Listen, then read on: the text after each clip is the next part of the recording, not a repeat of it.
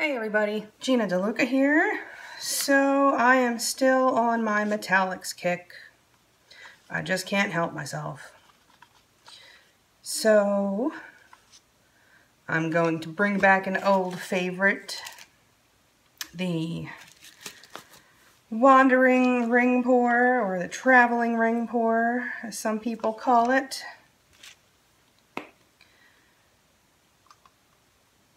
But I will be doing it with all metallics. Just thickened up a wee bit on me. So I'm using Artist Loft paints. I have metallic black, copper, metallic white, and old gold. These are mixed at about a 1 to 1 ratio with the Floetrol. Usually I do one part paint, one part Floetrol, or two parts Floetrol. But I'm trying to avoid cells if possible. So I've made my paints uh, thicker than I usually do like when I drizzle it into the cup, it sits on top of the other paint for a second or so before it disperses.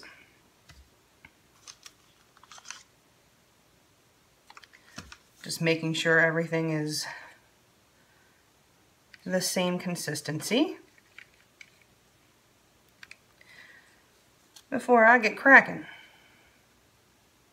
Okay we look good here. This is a 14 by 14 inch canvas. And that would be uh, seven ounces, roughly.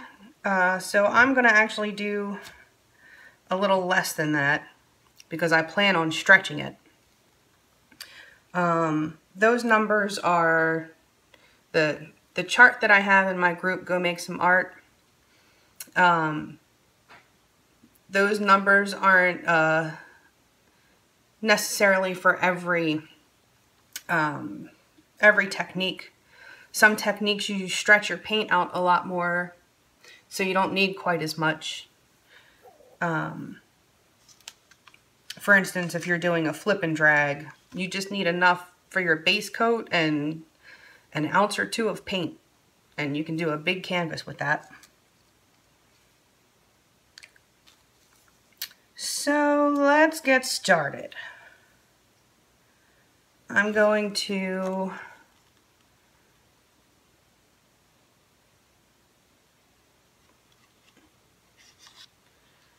do uh, layers, multiple layers.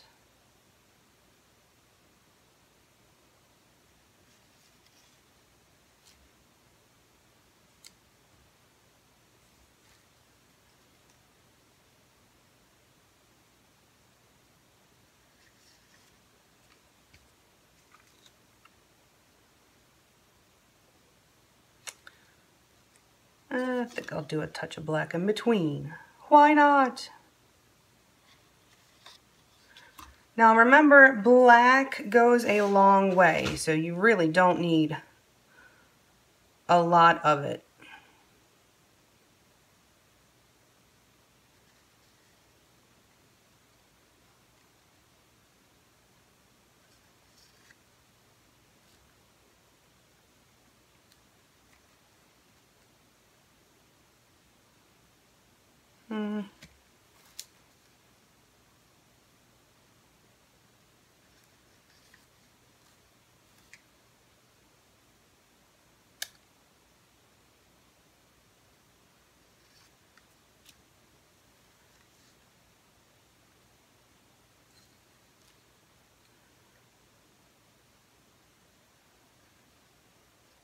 I'm kind of alternating layers, I'm not going for a very strict pattern.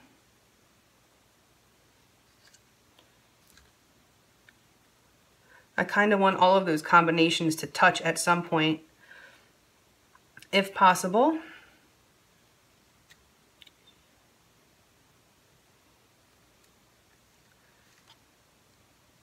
Uh, let's do a spot of black.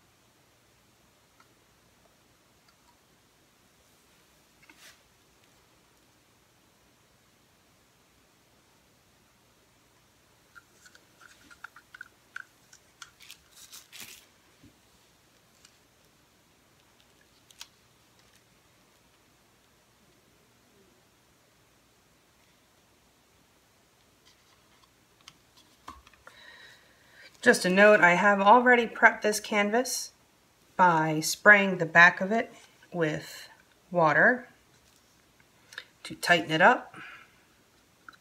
It should sound like a drum when you uh, thump it with your finger.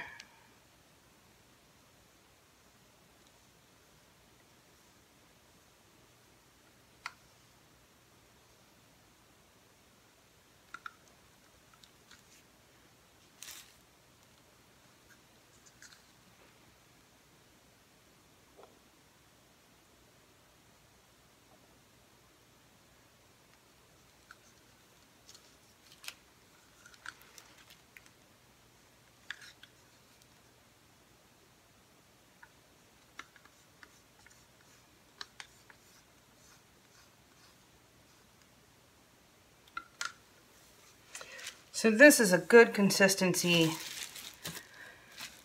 When you're doing ring pours, you can see there's no cells popping up. If this paint were thin, those cells would be popping up. So I have nice clean layers.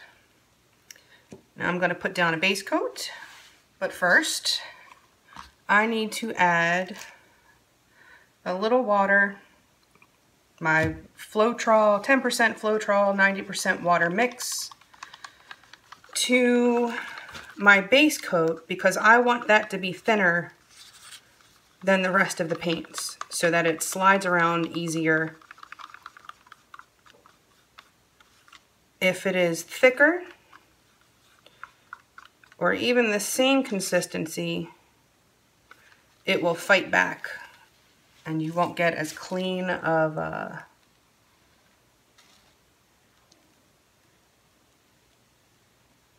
the clean edges. Oh dear, I hope that's enough paint.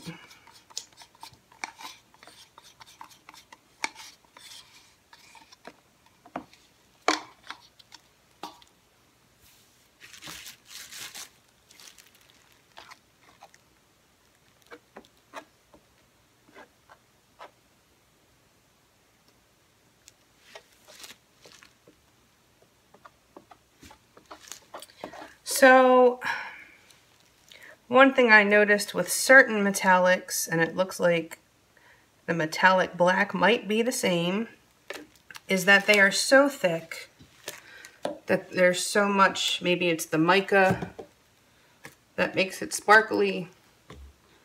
Um, they don't seem to uh, work quite as well as a base coat.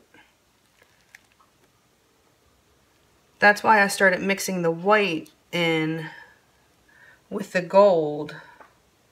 The gold was, or the gold was too thick and the white was too thin because I was using the flow acrylics.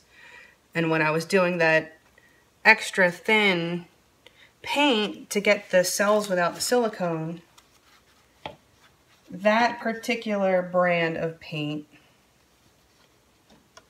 the Artist Loft Flow acrylic couldn't handle being broken down that much. But if I mixed it with the gold, it was perfect. And the gold was too thick, so it kind of put me in that Goldilocks zone. So it seems like the metallic black might kind of be like that too. But it's okay. I used to have a bakery. It's just like decorating cake. I can get it smooth.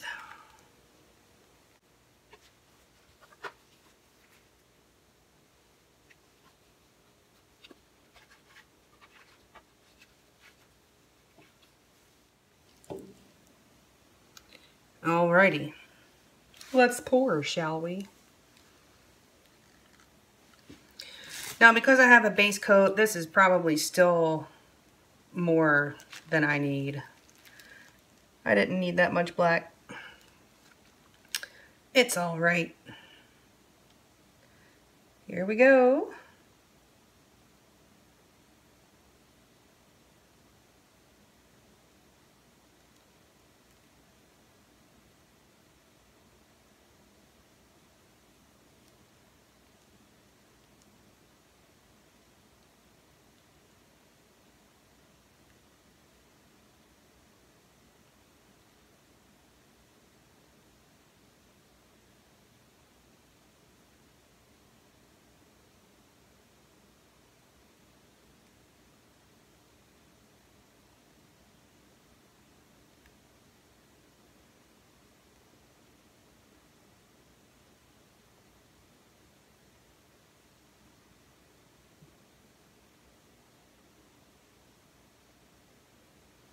As you get to the end, you want to go a little slower.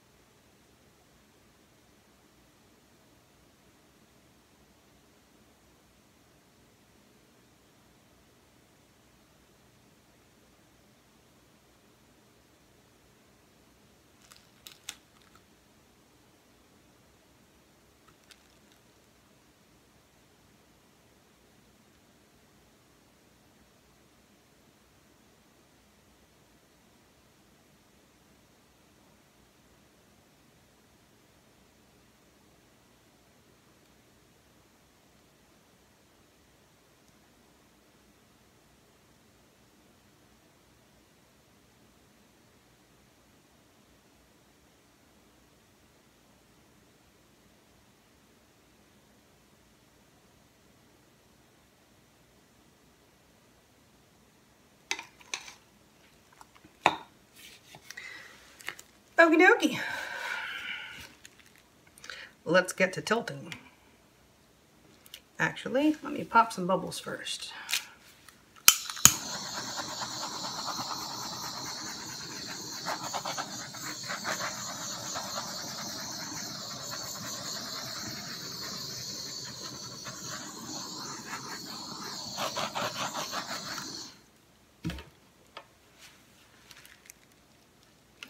Still get some cells.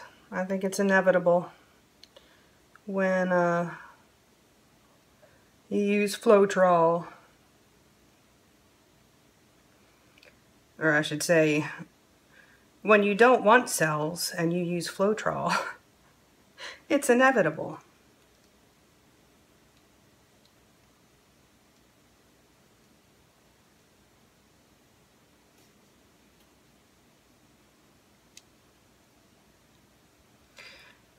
And the same rule applies as far as recentering your paint.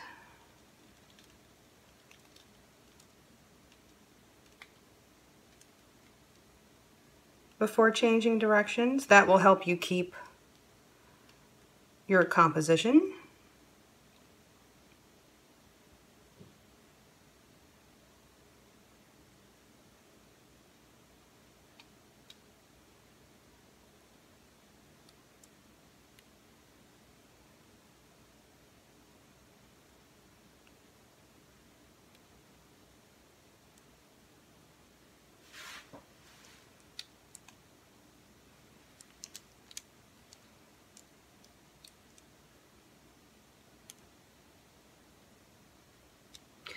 Sorry if that was not on frame.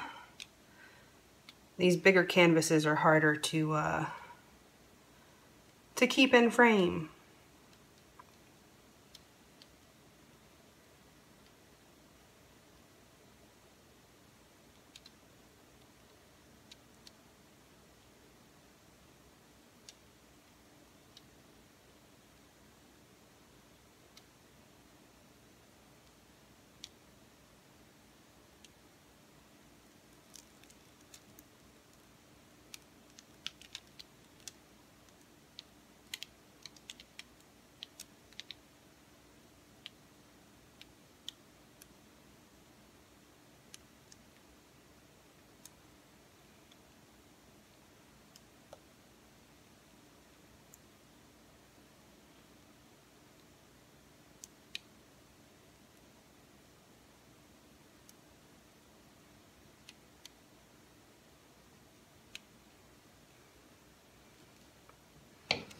So now I'm looking at composition.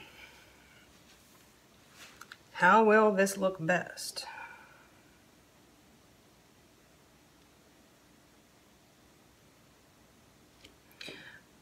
I want this side to be smaller.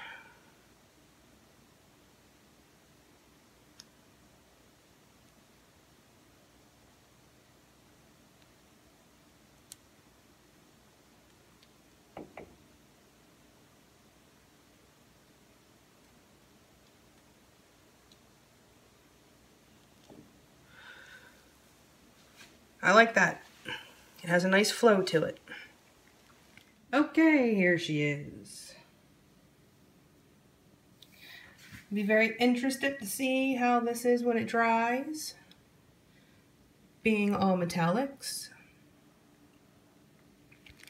Right now it has a lot of depth.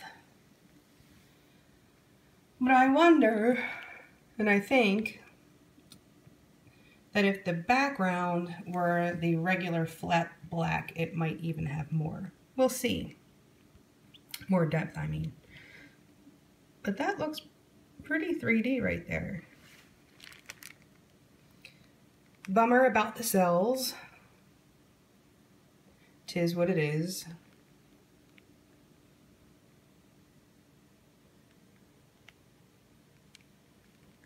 Okay. Well, that's it for me. Thank you for watching.